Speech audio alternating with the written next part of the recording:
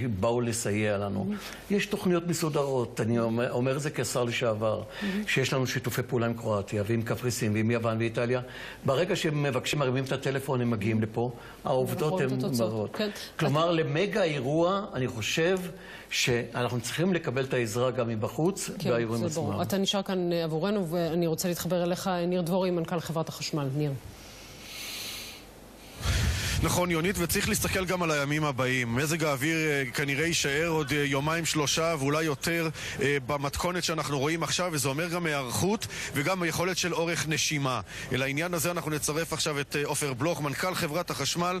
איך אתם נערכים יחד עם כל כוחות ההצלה כדי להבטיח אל מול מה שאנחנו רואים כאן אספקה מלאה לכולם, שגם יאפשר לא רק חיים, אלא גם פעולות חילוץ כשצריך וכיבוי? ערב טוב, ניר. אנחנו משעות הבוקר נערכנו למתכונת חירום.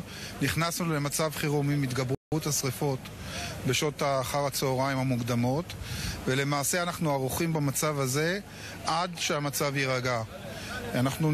פועלים. בתיאום מוחלט עם כיבוי אש ועם המשטרה, מפסיקים אזורים שנפגעו על מנת שאפשר יהיה לכבות את האש, ומחזירים את החשמל בתיאום לאחר שהמצב נרגע.